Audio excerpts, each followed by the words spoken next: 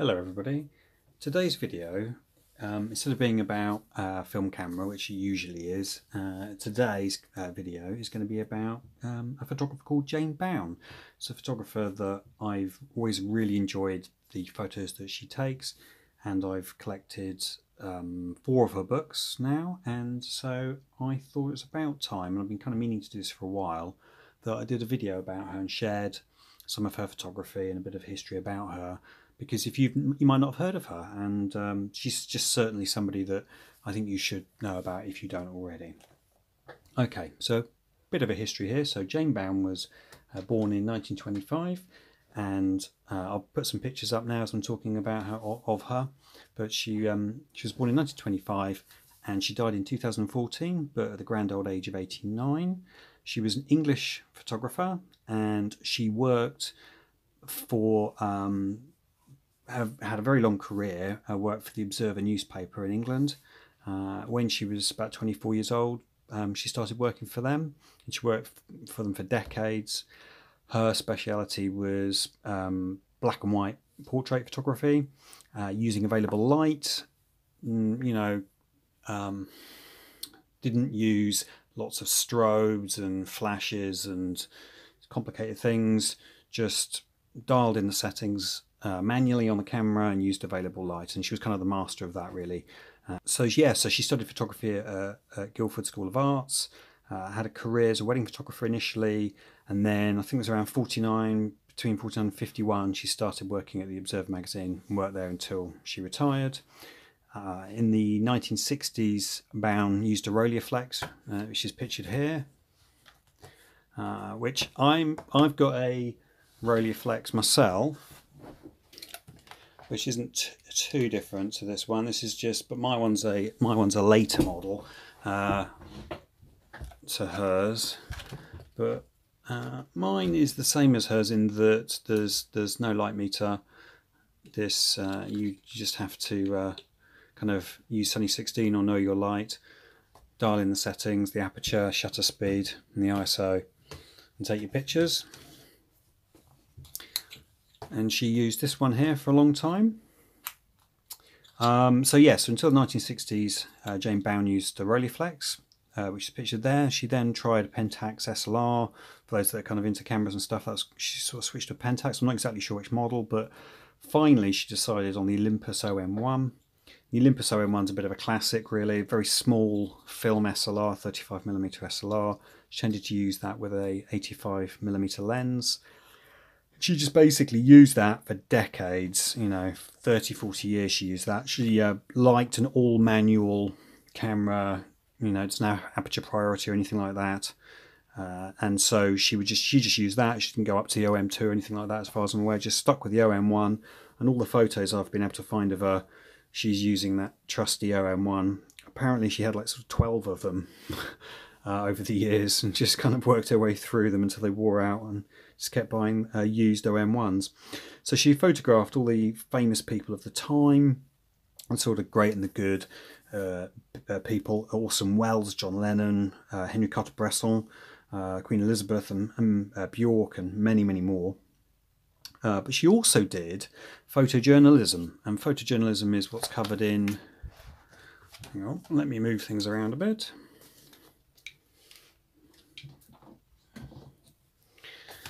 So,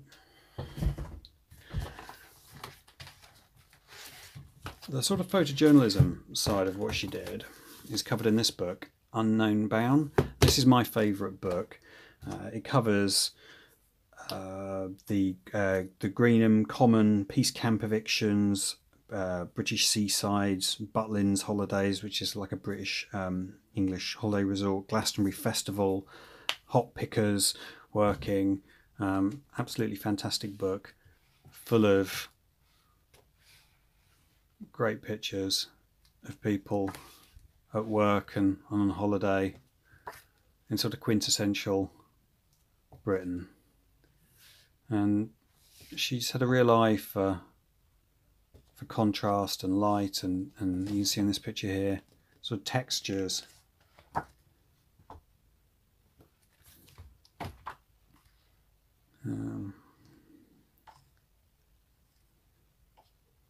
There we go. So some lovely pictures, and then you might recognise some of these photos and uh, and not realise that they were by her. But this the, these are kind of it's called unknown unknown Bown because what she was famous for was uh, the celebrity portraits, uh, which I'll show you in this book. So there's some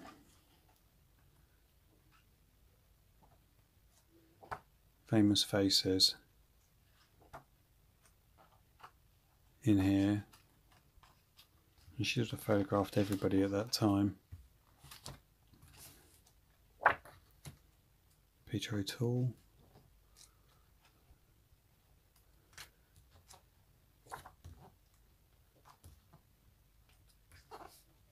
Right, there's a few at the back, but um,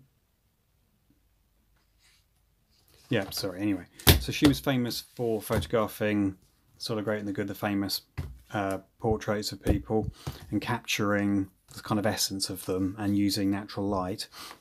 My favourite book is this Unknown Bown book, which is the photojournalism side. Um, I just think that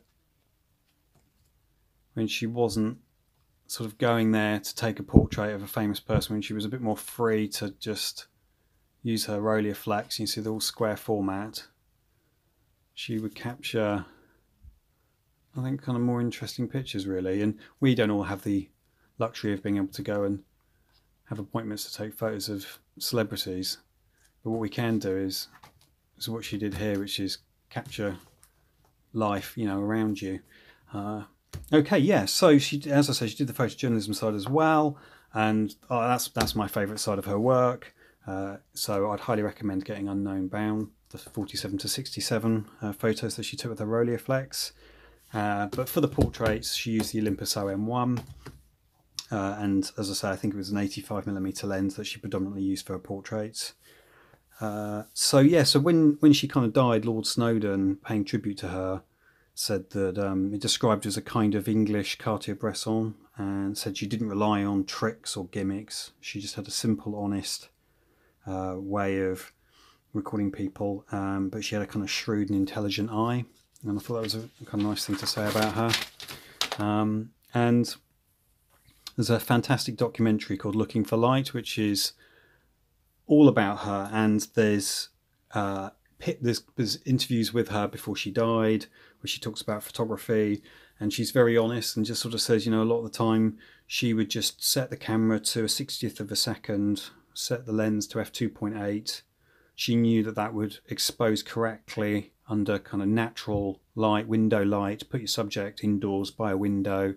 There's nice soft light coming through that's going to expose your photo correctly. And I use those settings all the time having sort of found out that that was her kind of go-to setup.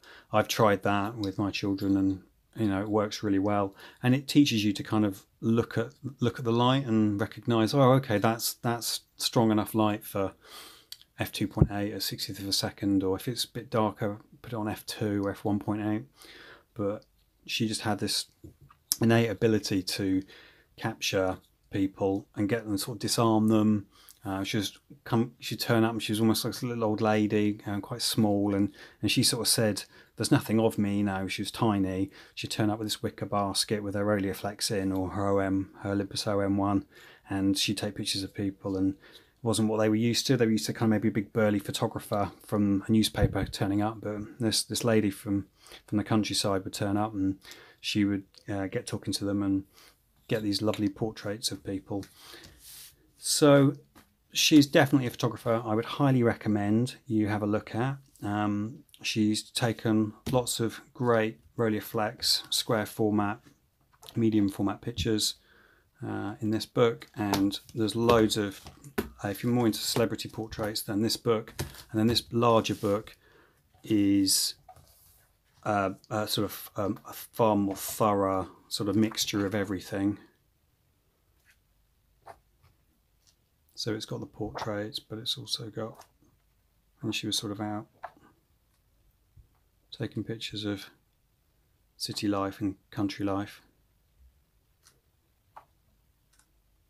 And this is a fantastic book as well. there's the occasional colour photo, but it's mostly black and white. So well worth checking out. And um, kind of final thing that was quite sort of funny, I thought, was that in you know in the days of shooting film she gets sent out. She always tended to shoot uh, Tri-X 400 black and white film, and she'd go out and she would shoot a roll of film. She'd usually uh, just do, I think it was one roll of film, um, and then she'd she'd come home and she'd have a few frames normally left on the end of the film because she'd do about uh, 20 25 or so shots something like that most of a roll of a film and then, and then she would she'd head home and she would always have to use up those last few shots before you know she could send off the, the film to be developed or, or get it processed. And so what she would what she would do uh, and you know we all take pictures of random things when we've just got to use the last few shots. And what she would do is she would take pictures of cats. If she saw a cat she would take a quick picture. And so the ends of a lot of her rolls of film have a couple of pictures of cats on. That was just something that she did.